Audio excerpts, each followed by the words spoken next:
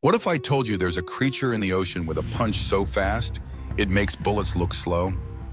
Meet the peacock mantis shrimp.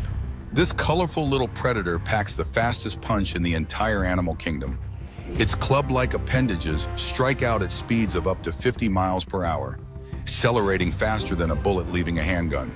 That's over 1,500 times the force of its own body weight. But the mantis shrimp doesn't just rely on brute strength. Its punch is so rapid, it actually causes the water around it to boil for a split second, creating a tiny flash of light and heat known as cavitation. This means it can injure its prey even if it misses the direct hit. Plus, the shockwave from the punch can stun or kill prey instantly. Now imagine trying to punch that fast.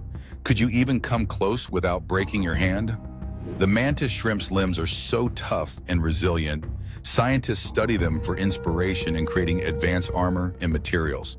So, do you think you could match the mantis shrimp's legendary strike? Let me know in the comments. If you love learning wild animal facts, don't forget to like, share, and subscribe for more amazing creatures.